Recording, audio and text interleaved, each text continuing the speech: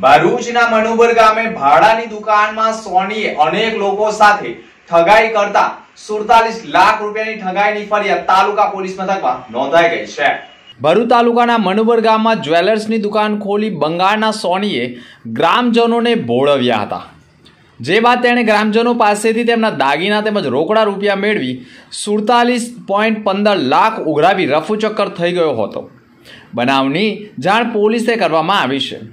તાલુકા police મથકે નોંધાયેલી ફરિયાદ અનુસાર મનુબર ગામે ભરૂચની લાલ બજાર પોસ્ટ ઓફિસ સામે રહેતો અને મૂળ પશ્ચિમ બંગાળના સફીક મુસબ્બર શેખ સાતેક વર્ષ પહેલાં મનુબર ગામે નવા મદ્રેસા હોલ પાસે ભાડેથી દુકાન રાખી જ્વેલર્સની દુકાન ચાલુ કરી હતી. અરસામાં તેણે ગામમાં જ રહેતા યાસીન ઇસ્માઇલ પટેલને તેમજ ગામના જ અન્ય લોકોને વિશ્વાસ સંપ્રદિત કરી જે બાદ તેમણે ગામના એક મકાનનું કામ પણ શરૂ કરાવ્યું હોય. લોકોને તેમના પર પૂરો વિશ્વાસ હતો ને અરસામાં જ યાસીને તેમના પુત્રીના લગ્ન હોય તેમની પાસેથી પાટલા બનાવ્યા હતા.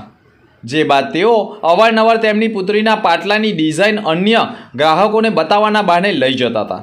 પરત પણ કરી દેતા હતા અને ત્રણ નવેમ્બરે તેઓ પાટલા લઈને ગયા બાદ પરત નહીં ફરતા તેમનો સંપર્ક કરતા તેઓ અન્ય ગ્રાહકોને બતાવીને આપી જશે તેમ જણાવ્યું હતું.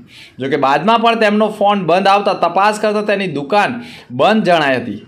દરમિયાન ગ્રામજનોમાં વાતોથી જાણ થઈ હતી કે ગામના જ અન્ય લોકો પાસેથી પણ આ જ પ્રમાણે દાગીના લઈ જવા સાથે નવા દાગીના બનાવવાના બહાને રૂપિયા ઉઘરાવ્યા હોવાનું માલુમ પડ્યું હતું. જેના કારણે ફરિયાદીએ તાબડતોબ તાલુકા પોલીસ મથકે દોડી ગયા હતા અને સુડતાલીસ લાખ પંદર હજારની ઠગાઈની ફરિયાદ નોંધાવી હતી, જ્યારે હજુ સત્તરથી વધુ લોકો ભોગ બન્યા હોવાની માહિતી સાંપડી રહી છે.